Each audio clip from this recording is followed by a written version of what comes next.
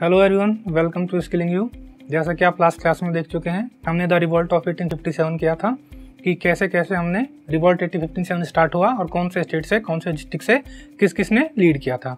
आज हम उसी टॉपिक को आगे बढ़ाते हुए देखते हैं द फॉर्मेशन ऑफ़ कांग्रेस कि जो कांग्रेस फॉर्म हुई थी, वो कैसे कैसे हुई थी। 1857 के बाद में क्या हुआ? ब्रिटिश रूल जो था, वो सीधा क्राउन रूल आ गया इंडिया पे। जो ब्रिटेन की महारानी थी एलिजाबेथ वो इंडिया पे रूल कर रही थी अब। ठीक है, लोग बहुत परेशान हो गए। उन्होंने क्या काम किया कि दो गरम दल अलग बन गया, नरम दल अलग अलग बन गया। लाल बाल पाल आपने नाम सुने होंगे। ये साइड फॉर्म हो गए और जो मॉडरेट थे, वो अलग हो गए। तो मॉडरेट और एक्सट्रीमिस्ट दो ग्रुप बट गए आपस में। तो क्या करते हैं कि जो उस टाइम पे डफरिन थे लॉर्ड डफरिन, वो क्या करते हैं कि कांग्रेस बनाते हैं। ताकि जो भी लोगों की डिमांड होगी इंडिया के लोगों की, वो कांग्रेस के थ्रू लोगों को बता सके और फिर उसे कंटिन्यू किया जा सके। तो हम देखते हैं कि कांग्रेस फॉर्म कैसे कैसे हुई थी। चलिए शुरू करते हैं। देखते हैं फॉर्मेशन ऑफ़ कांग्रेस। कांग्रेस का गठन। तो सबसे पहले कांग्रेस गठन में हमें इंपॉर्टेंट डेट याद रखनी होती है, जो स्थापना होगी कांग्रेस की, वो हुई थी 28 दिसंबर अठारह सौ पिचासी। ट्वेंटी ऑफ़ दिसंबर 1885 में कांग्रेस की स्थापना होती है जी। उसके बाद देखते हैं कि इसके संस्थापक कौन थे। जो संस्थापना की थी इसकी, कांग्रेस की, वो की थी ए ओ ह्यूम ने। अब ए ओ ह्यूम सिर्फ़ संस्थापक थे इसके। उस टाइम पे वॉयसराय नहीं थे। लोगों को कंफ्यूजन होता है कि ए ओ ह्यूम करेंगे तो शायद वो वॉयसराय होंगे एटी एटी फाइव में। लेकिन वॉयसराय कौन थे? लॉर्ड डफरिन ठीक है जी? तो देखते हैं, स्थापना कहाँ हुई थी? गोकुलदास तेजपाल संस्कृत महाविद्यालय था जी ये बम्बई में। वहाँ पे इसकी स्थापना हुई थी। पहले इसको कहीं और किया जा रहा था, लेकिन उस टाइम पे क्या हुआ था? प्लेग की बीमारी फैल गई थी। तो इस सेशन को हमने उठा के बॉम्बे शिफ्ट कर दिया। ठीक है? प्रथम अध्यक्ष कौन बने उसके? कांग्रेस के सेशन होते थे, हर साल सेशन होते थे। एटी फाइव में होगा सिक्स में होगा, ये कंटिन्यूस जब तक देश आज़ाद नहीं होगा, तब तक ये सेशन चलेंगे। तो जो पहला सेशन हुआ था, उसके जो अध्यक्ष बनाए गए थे, वो थे डब्ल्यू सी बैनर्जी और इनका पूरा नाम था व्योमेश चंद्र बैनर्जी। प्रथम अधिवेशन में बहत्तर प्रतिनिधित्वों ने भाग लिया था, जो कांग्रेस के टोटल मेंबर हुए थे उस टाइम पे। कांग्रेस नई नई फॉर्म हुई थी तो धीरे धीरे मेंबर स्टार्ट होंगे। तो जो जितने भी डेलीगेशन थे स्टार्टिंग के जो फ़र्स्ट सेशन हुआ था, उसमें 72 डेलीगेशन थे, जिन्होंने पार्ट लिया था। और वॉयसराय जैसा आपको बताया, संस्थापना एओ करेंगे, और वॉयसराय उस टाइम पे होंगे लॉर्ड डफरी नेक्स्ट देखते हैं। अब देखते हैं हम अध्यक्ष कि कौन कौन से सेशन में कौन कौन से अध्यक्ष रहे होंगे, जो कि बहुत ज़्यादा इंपॉर्टेंट है। आपसे डायरेक्ट क्वेश्चन पूछता है। तो सबसे पहले देखते हैं प्रथम अध्यक्ष, आपने देखा Womesh Chandra Banerjee W C Banerjee. Second देखते हैं प्रथम मुस्लिम अध्यक्ष कौन बने थे, जो मुस्लिम थे, क्योंकि मुस्लिम लीग तो बनी नहीं है अभी। मुस्लिम्स और हिंदू दोनों साथ में मिल के लड़ रहे हैं अभी अंग्रेज़ों से। तो पहले मुस्लिम अध्यक्ष बने थे बदरुद्दीन तैयब जी 1887 में। 1887 का जो सेशन हुआ था कांग्रेस का मद्रास में, उसमें प्रथम मुस्लिम अध्यक्ष बनाए गए। बदरुद्दीन तैयब जी। अब क्वेश्चन कई तरह से पूछता है। ईयर पूछ लेगा कि जो प्रथम मुस्लिम अध्यक्ष बने थे, वो कौन से ईयर में बने थे? तो 1887 में बने थे। सेशन पूछ लेता है कि कौन से सेशन में प्रथम मुस्लिम अध्यक्ष बने? तो मद्रास का सेशन आपका आंसर हो जाएगा। सेकंड देखते हैं, प्रथम अंग्रेज़ अध्यक्ष। अब अंग्रेज़ों ने ही कांग्रेस बनाई है। हम अंग्रेज़ों को ये अध्यक्ष बना रहे हैं। तो पहले जो थे हमने जो अंग्रेज़ अध्यक्ष बनाए थे, वो थे जॉर्ज यूल 1888 में इलाहाबाद के सेशन में। तो इलाहाबाद में सेशन होगा 1888 में होगा, और उसमें हम किसको बनाएँगे अध्यक्ष? जॉर्ज यूल को। तो प्रथम अंग्रेज़ अध्यक्ष हो जाएँगे जॉर्ज यूल। नेक्स्ट देखते हैं, प्रथम महिला अध्यक्ष। अब देखिए, यहाँ पे दो क्वेश्चन आते हैं। एक तो प्रथम महिला अध्यक्ष, की कोई भी लेडी हो इंडिया की हो या फॉरेनर हो। एक होता है प्रथम भारतीय महिला अध्यक्ष। तो दो क्वेश्चन है। तो प्रथम महिला अध्यक्ष जो बनेंगे, वो श्रीमती एनी बेसेंट बनेंगे। आपने सबने सुना होगा 1917 में कलकत्ता में जो होम रूल लीग भी इसी सेशन में चलता है। तो सबसे मेन क्वेश्चन बनता है कि जो होम रूल लीग चलेगा, वो कौन से सेशन में चलेगा? 1917 में। और एनी बेसेंट के साथ में एक नाम जुड़ता है होम रूल लीग में, बाल गंगाधर तिलक का। ठीक है जी? नेक्स्ट देखते हैं, प्रथम भारतीय महिला अध्यक्ष, वो कौन सी लेडी थी जो भारत की थी? एनी बेसेंट भारत की नहीं थी। फॉरेनर थी इंडिया में आके इंडिया के लोगों के लिए काम कर रही थी, इसलिए उनको अध्यक्ष बनाया। लेकिन अगर हम भारत की महिला की बात करते हैं तो सरोजनी नायडू जी थी, वो पहली अध्यक्ष बनी थी 1925 में कानपुर सेशन।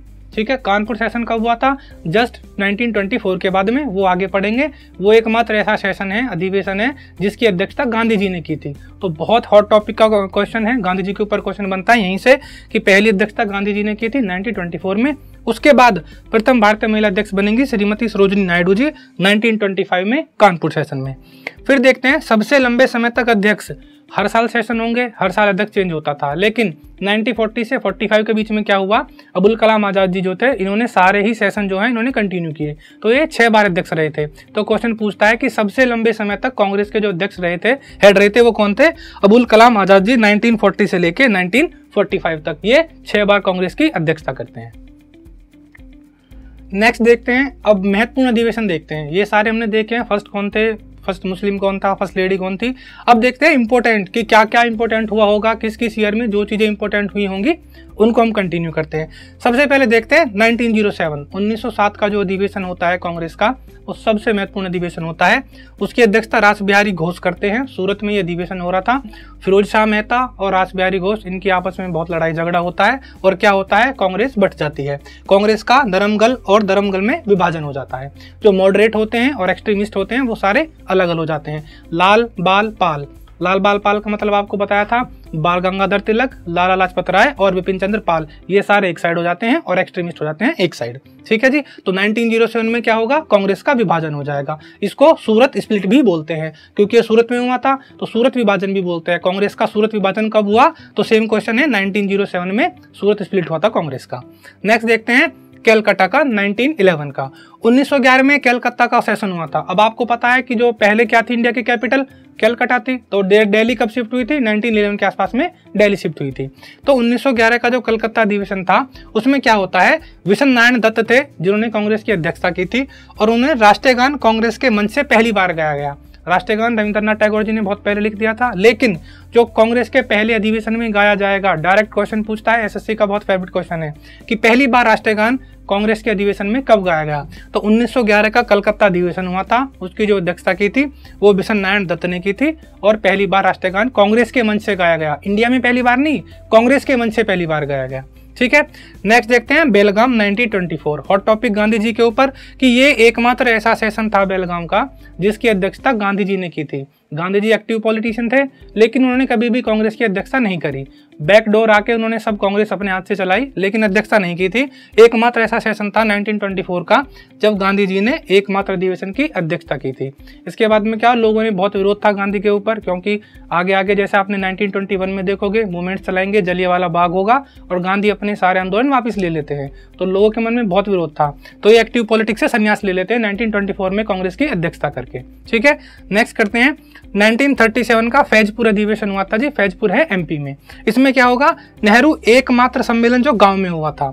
इसकी अध्यक्षता कौन करेंगे? नेहरू जी करेंगे। और गाँव के अंदर सारे अधिवेशन देखे आपने, मुंबई में हो रहे हैं, कलकत्ता, सूरत, इलाहाबाद, लेकिन एक छोटा सा गाँव पड़ता है कर्नाटक में, वहाँ पे ये सेशन हुआ था जी, और इसकी अध्यक्षता की थी नेहरू जी ने।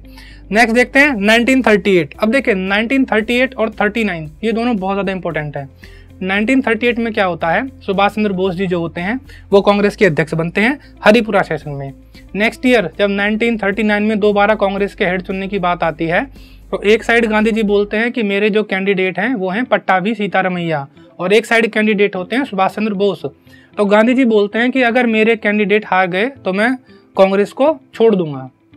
अब लोगों के तो पसंद थी बोस। बाहुबली और भल्लाल देव लोगों की पसंद था बाहुबली, लेकिन भल्लाल देव राजा बन गए।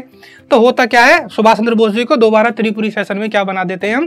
कांग्रेस का हेड बना देते हैं। अब गांधी जी धमकी देते हैं कि मैं कांग्रेस छोड़ रहा हूँ पॉलिटिक्स छोड़ रहा हूँ। तो सुभाष चंद्र बोस क्या होते हैं? परेशान होकर इनसे ये खुद ही कांग्रेस छोड़ देते हैं और बाद में जाके अपना फॉरवर्ड ब्लॉक बना लेते हैं। लेकिन जो गांधी जी के कैंडिडेट होते हैं वो भी नहीं बनते हैं कांग्रेस के अध्यक्ष। तो क्या करते हैं? डॉक्टर राजेंद्र प्रसाद, बहुत ही रेस्पेक्टेड नेम था तो उनको कांग्रेस का अध्यक्ष बना देते हैं। तो 1938 और 39 में क्वेश्चन इसलिए पूछता है, क्योंकि दोनों बार सुभाष चंद्र बोस जी बनेंगे, लेकिन सेकंड टाइम में 1939 में सुभाष चंद्र बोस भी कांग्रेस छोड़ देंगे और पट्टा भी सीतारामैया नहीं बनेंगे, डॉक्टर राजेंद्र प्रसाद को हम कांग्रेस का अध्यक्ष बना देते हैं।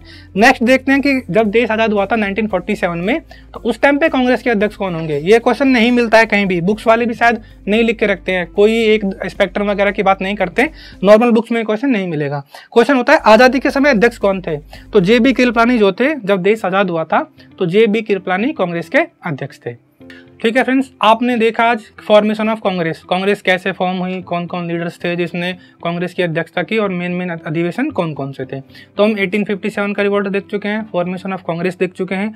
अब धीरे धीरे हम आगे चलेंगे नेक्स्ट क्लासेज में बंगाल का विभाजन देखेंगे, कि जो बंगाल का विभाजन हुआ था वो कैसे होगा। कांग्रेस का स्प्लिट देखेंगे, सूरत स्प्लिट देखेंगे और बाकी कंटिन्यू मॉडर्न हिस्ट्री की क्लासेज आपके पास मिलती रहेंगी।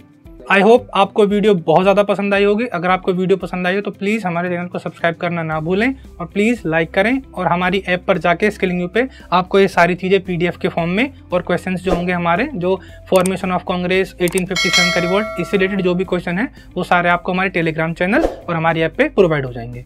Thank you class